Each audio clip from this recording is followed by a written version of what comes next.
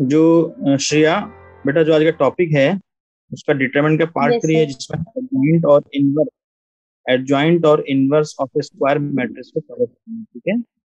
क्या क्या होता है? क्या होगा इनवर्स कैसे निकालेंगे? उसके बारे में बताएँगे अभी आपको। सबसे पहले समझते हैं transpose of a square matrix किसे कहते हैं? ट्रांसपोज किसे कहते हैं? ठीक है? मैंने आपको इससे पहले पढ़ाया जैसे कोई मैट्रिक्स हमारे सामने है टू थ्री फोर फाइव कैसी मैट्रिक्स है, हमारे पास एक मैट्रिक्स है टू थ्री फोर फाइव ठीक है? अगर इस मैट्रिक्स को हम इसका ट्रांसपोज निकालना चाहें तो हम इसके ऊपर एक डैश लगा देते हैं, या टी लगा देंगे। डैश लगाएँ या टी लगाएँ, एक ही बात है। तो इसका मतलब क्या हुआ? इसका जब ट्रांसपोज निकालेंगे तो क्या होगा? वो हो जाएगा टू थ्री फोर फाइव मतलब रो को कॉलम में चेंज कर देंगे और कॉलम को रो में। यानी कि रो और कॉलम को हम इंटरचेंज कर देंगे। ठीक है? तो टू थ्री फोर फाइव का जो ट्रांसपोज होगा वो होगा टू थ्री फोर फाइव ऐसे। ये पहले तो रो वाला था टू थ्री ये कॉलम बन गया टू थ्री ठीक है?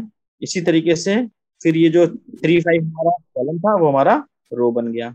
ठीक है? यहाँ तक बात समझ में आ गई तो मैं आगे चलिए नेक्स्ट पॉइंट देखिए। अब आता है एडजॉइंट किसे कहते हैं? तो जो एडजॉइंट होता है एडजॉइंट के बारे में आपको समझाते हैं थोड़ा सा। एडजॉइंट ऑफ़ ए ए कोई मैट्रिक्स है हमारी? या ठीक है, उसके बारे में बात करेंगे। एडजॉइंट ए एडजॉइंट ए ए कोई हमारे सामने ये स्क्वायर मैट्रिक्स है। क्या है? स्क्वायर मैट्रिक्स ये स्क्वायर मैट्रिक्स हमारी, क्योंकि हम डिटरमिनेंट चैप्टर पढ़ रहे हैं, इसमें स्क्वायर मैट्रिक्स की ही बात करना हमें। ये सेकंड ऑर्डर का भी हो सकता है टू रो टू कॉलम और थर्ड ऑर्डर का भी हो सकता है। बस आपके कोर्स में थर्ड ऑर्डर तक ही इसके ऊपर नहीं है, ठीक है? तो उसके लिए वरीड मत होइएगा। अच्छा स्क्वायर मैट्रिक्स की बात, उसका एडजॉइंट निकालना है। तो सबसे पहले एडजॉइंट होता क्या है? एडजॉइंट जो कोफैक्टर मैट्रिक्स होता है, इसे इस लाइन को नोट कर लेंगे।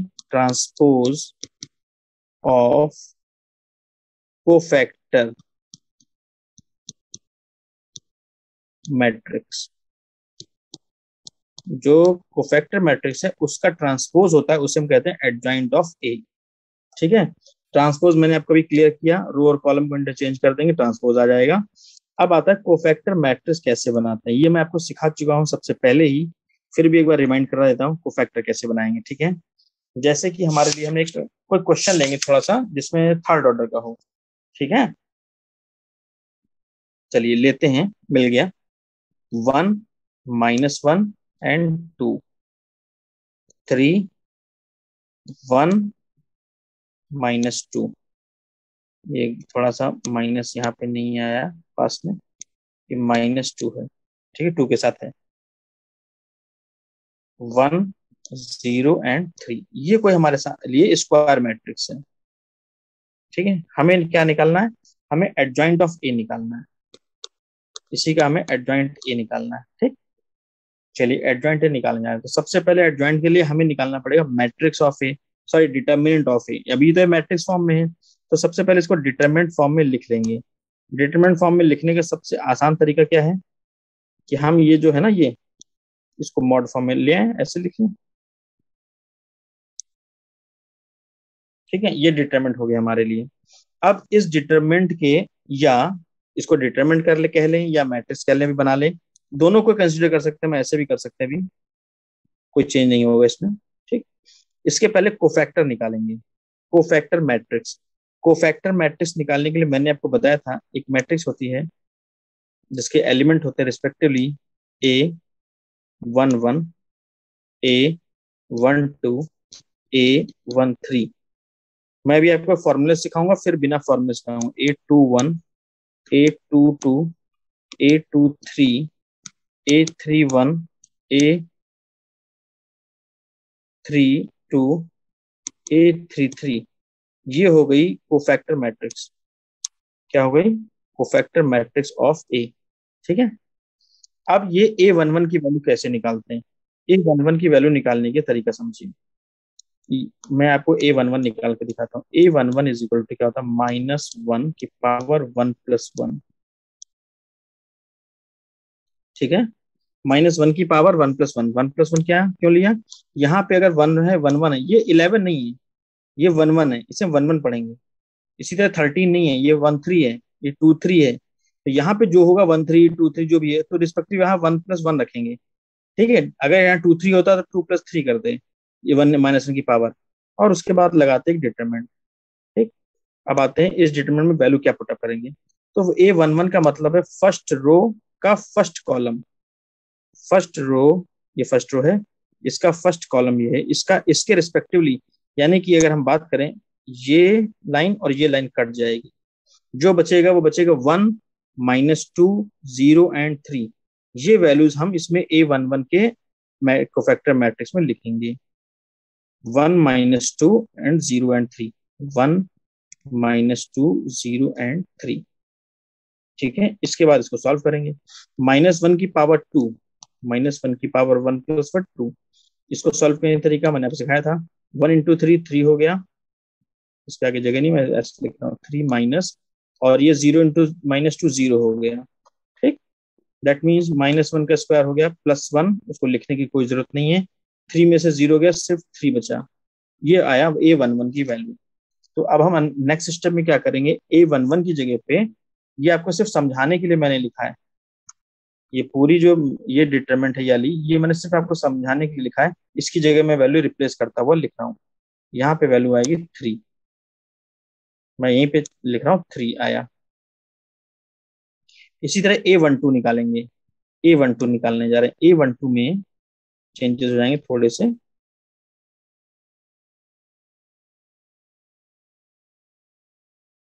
मैं आपको पहली रो का निकाल के दिखाता हूँ, बाकी आप रो खुद निकाल के मुझे बताएँगे। ठीक है a one two one two minus one की पावर वन प्लस टू उसके आगे इनटू में है ये, जो नीचे लिख रहा हूँ मैं। सॉरी डिटरमेंट बनाएँगे यहाँ पे।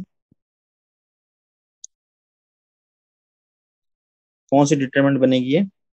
वन टू में ये और ये कट जाएगा। नहीं नहीं, ये नहीं कटेगा। सेकेंड कॉलम कटेगा। ठीक है। थ्री और माइनस टू बचेंगे। वन और थ्री बचेंगे। Three minus two one and three इसे सॉल्व करेंगे ठीक है?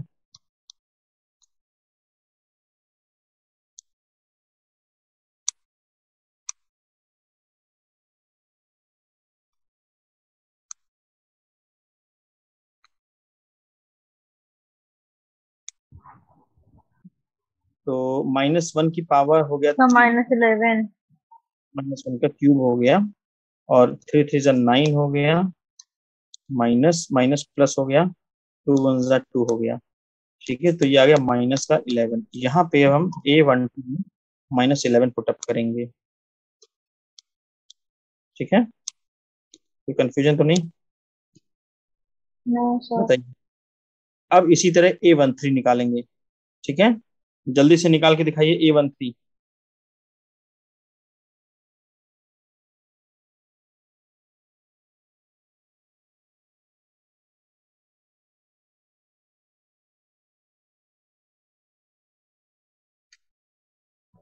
तो माइनस वन माइनस वन आएगा, मैं देखता हूँ। आप निकाल लीजिए श्री आप भी निकाल उठा। माइनस वन इस तरह सारे निकाल, इस तरह सारे निकाली जल्दी जल्दी। तो ये हमने जो निकाली है, यहाँ पे ये जो मैट्रिक्स आई, ठीक, ये मैट्रिक्स हमारी है कोफैक्टर मैट्रिक्स तो यहाँ पे मैं अर्जेंट ए हटा करके लिख देता हूँ, ये कोफैक्टर मैट्रिक्स है। तो क्या है? Cofactor matrix cofactor matrix of matrix a ठीक है? इज़ इक्वल टू वो ये आ गई, ठीक है? हमने कोफैक्टर मैट्रिक्स निकाल लिया। अब हम क्या करेंगे? एडजॉइंट जो होता है ना, मैंने बताया आपको एडजॉइंट क्या होता है? इसी वाली कोफैक्टर मैट्रिक्स का, इसी मैट्रिक्स का ट्रांसपोज होता है बस। इसका हम ट्रांसपोज ले लेंगे नेक्स्ट स्टेप में, ठीक है?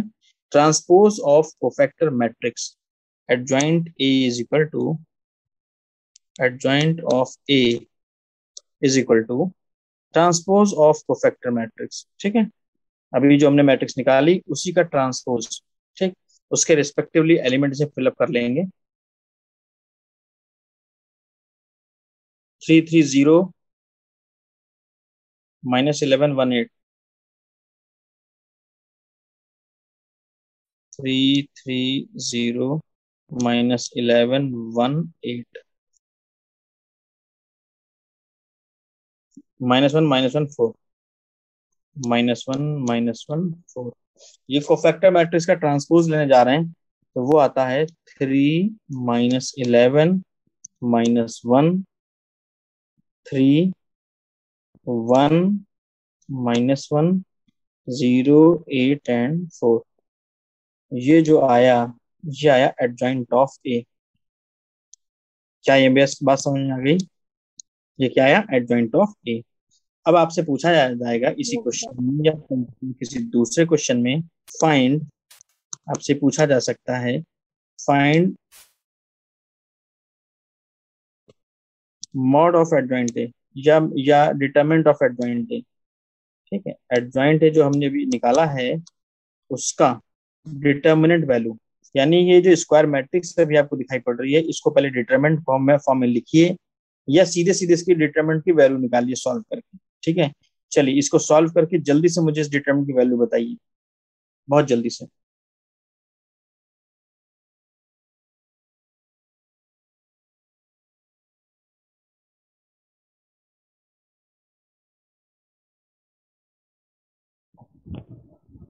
तो 144 144 हमने इस डिटरमिनेंट को जब सॉल्व करना तो इसकी वैल्यू आती है 144 ठीक है? सही? बस यहाँ तक ही मैं निकालना था इस पर्टिकुलर क्वेश्चन में। तो इस क्वेश्चन को जब फिर से एक बार रिपीट करा देते हैं रिवाइज करते हैं, ठीक है? कहाँ से स्टार्ट हुआ था क्वेश्चन कोफैक्टर मैट्रिक्स के बाद में बात की थी हमने एडवाइंट क्या होता है? Transpose of the cofactor matrix होता है। ये क्वेश्चन हमने एक ले लिया था। क्वेश्चन नंबर वन ठीक है, हमें इस क्वेश्चन नंबर वन में जो मैट्रिक्स ए है, ये अभी तक मैट्रिक्स ए है, इसका हमें निकालना है एडजॉइंट ऑफ़ ए का डिटर्मिनेंट वैल्यू यानी डिटर्मिनेंट ऑफ़ एडजॉइंट ए निकालना है। तो सबसे पहले हम निकालेंगे एडजॉइंट ए फिर उसका डिटर्मिनेंट निकाल लेंगे ठीक है? एडजॉइंट ए निकालने के लिए कोफैक्टर मैट्रिक्स निकालना पड़ेगा तो हमने पहले स्टेप में निकाला है कोफैक्टर मैट्रिक्स ऑफ़ ए ठीक? कोफैक्टर मैट्रिक्स ऑफ़ ए के लिए ये हमने पूरी वर्किंग करके आपको दिखाई। अभी आप लोगों ने निकाला है। उसके बाद उसी का ट्रांसपोज ले लिया। ट्रांसपोज में टी लगा दिया या डैश लगा देते हैं। ये इसकी ट्रांसपोज वैल्यू है, ठीक? यानी रो को कॉलम में कन्वर्ट कर दिया यही हो गया हमारा एडजॉइंट ए ठीक? अब इस मैट्रिक्स का एक डिटरमेंट वैल्यू निकाल लें। इसका डिटरमेंट निकालेंगे तो आएगा 144